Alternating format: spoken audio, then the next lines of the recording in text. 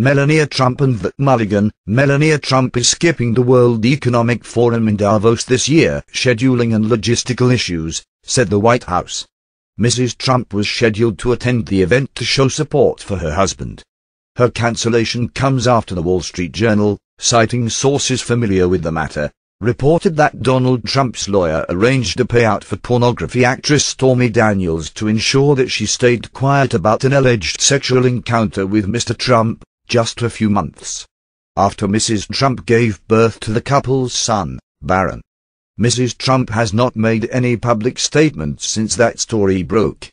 Nor should she have to. If the media wants to train its gaze on the important news, it can focus on Mr. Trump's behavior, not his wife.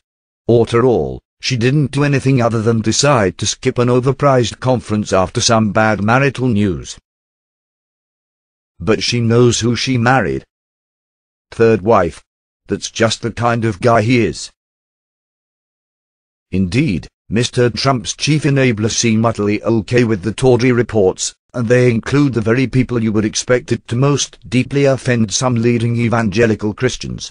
According to Tony Perkins of the right-wing Family Research Council, Trump gets a mulligan on reports of cheating and other misbehavior. Evangelicals were tired of being kicked around by Barack Obama and his leftists, Perkins explained to Politico. As it happens, Trump is also sufficiently misogynist in the ways that matter to Perkins, opposing abortion rights, for example, and limiting the ability of transgender people to be treated with dignity and equality. Melania Trump may be drawing from the same rule book. Her husband hasn't tried to hide his misogyny or his past infidelities, so it's a little hard to feel bad for a woman apparently willing to trade her good looks and basic respect for her philandering husband's financial largesse. But that doesn't mean she needs to participate in this public humiliation ritual, to fly to his side in Switzerland and play the role of the silent wronged wife. Nor does Mrs. Trump have much to do at Davos. She isn't a leader or, by all appearances, even a thinker on global business or politics. Unlike some previous First Ladies before her, she doesn't seem to have any interest in global affairs. Sure, she would be playing the role of helpmeet wife, but maybe the time for women to play that role while their husbands do the important stuff should go by the wayside. Mrs. Trump doesn't have any good reason to be at Davos. Why should she go?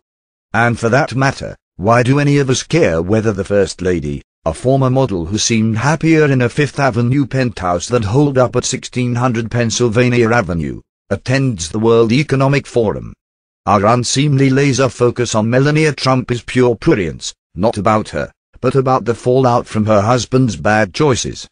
Again, she is a symbol of how others, and especially women, bear the cost of Mr. Trump's egoism and lack of self-control.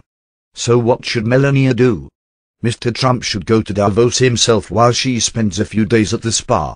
And while he's there, the men and women, although let's be honest, mostly men of global business, politics and development should treat him with exactly the level of respect a deeply misogynist narcissist merits. Journalists should demand he answer for the alleged payouts to silence Stormy Daniels rather than focus on an affair. And we should all leave Melania alone. Thank you for watching. For the follow-up, Subscribe to the channel yourself here.